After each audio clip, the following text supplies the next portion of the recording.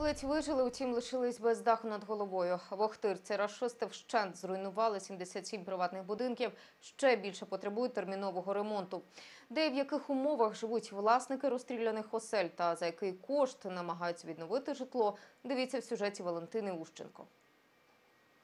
Людмила втратила житло ще 24 лютого, коли у її будинок в'їхала машина рашистів з боєприпасами, які одразу ж здетонували. Жінка дивом вижила, бо встигла сховатись у погребі. Проте на власне подвір'я не могла повернутись ще кілька місяців.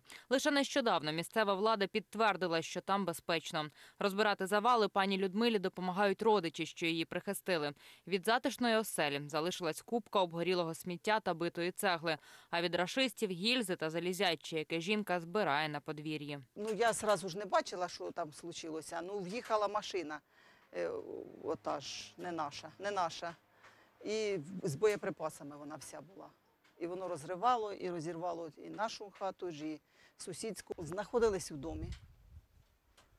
Були, да, ми у домі були. Вже почало падати, потолок упав, стекла посипалися. Тоді ми вискочили, отак вибігли, отут пересиділи трошечки. Сьогодні ми вирішили самі розібрати трошки розвалини. Прийшли мені допомогти мої. І подруги, і сестри, в общем, усі, хто, хто схотів. Пан Олександр живе у кума після того, як його будинок зруйнували пізно ввечері 7 березня. Чоловік каже, дивом вцілів. Він вже добігав до підвалу багатоповерхівки неподалік свого обійстя, коли вибуховою хвилою його знесло до укриття.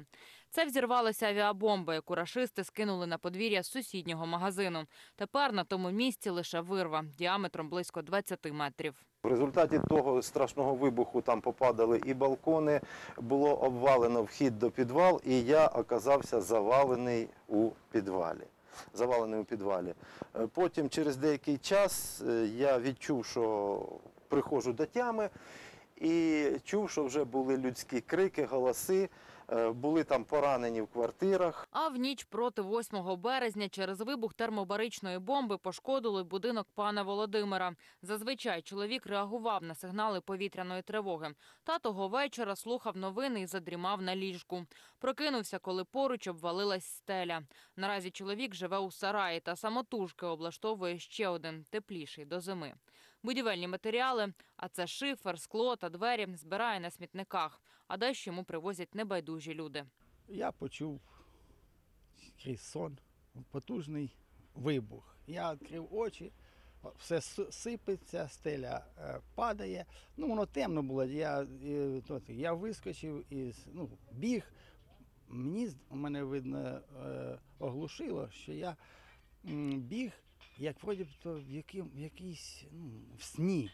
І по якихось е, е, ну, розвалинах, ну, як, бо там стільці валялися, глина лежала, ну, е, вікна лежали. На відновлення багатоповерхівок держава вже почала виділяти кошти. А от програма відшкодувань приватних будинків ще в розробці. Власники зруйнованого житла жодної компенсації ще не отримували. Очікують рішення держави. На сьогодні е, в нас є домовленість, і ми вже виділили кошти із е, одним із навчальних закладів, в яких є гуртожиток.